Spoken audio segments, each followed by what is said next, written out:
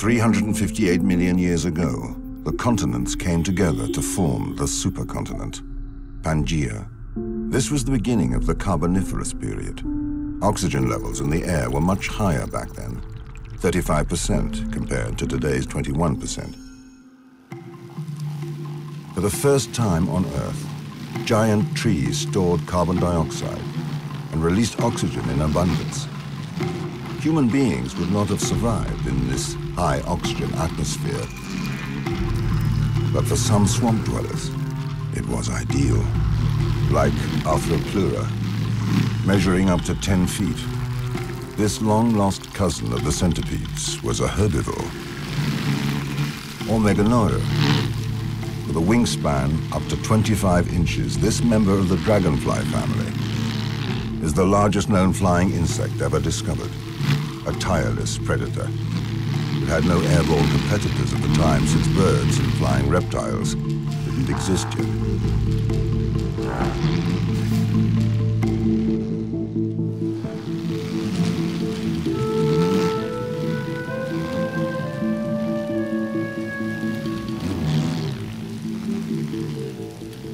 The high oxygen levels in the atmosphere give the characteristic sepia color to the sky during the Carboniferous period.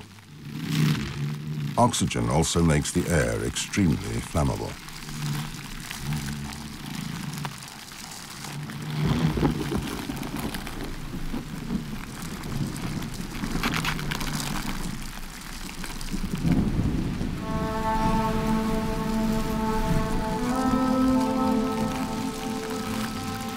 Such a hostile world is hard for us to imagine.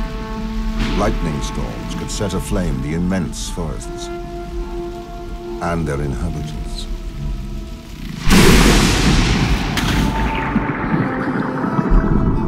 During this period, not a day went by without huge forest fires, and yet giant insects thrived.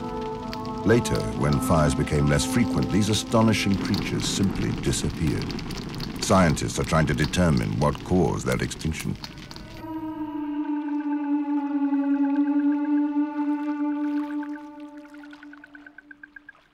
This is what the French region of Allier would have looked like then. A giant swamp scattered with cypresses. Humidity at nearly 100% made the atmosphere dense and allowed Meganeura to easily carry its heavy exoskeleton into the air. It is part of a genus that is extinct today, but it looks much like modern dragonflies and is part of the same Odonatoptera superorder.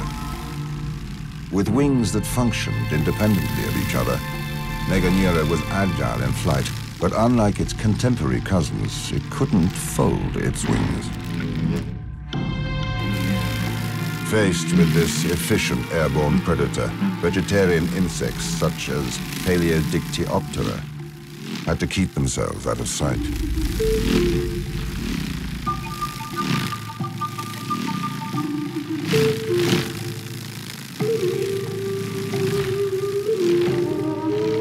By comparing its anatomy to modern dragonflies, we can guess at Meganeura's main physical characteristics. One, it could fly over 40 miles per hour. Two, it was a sight predator.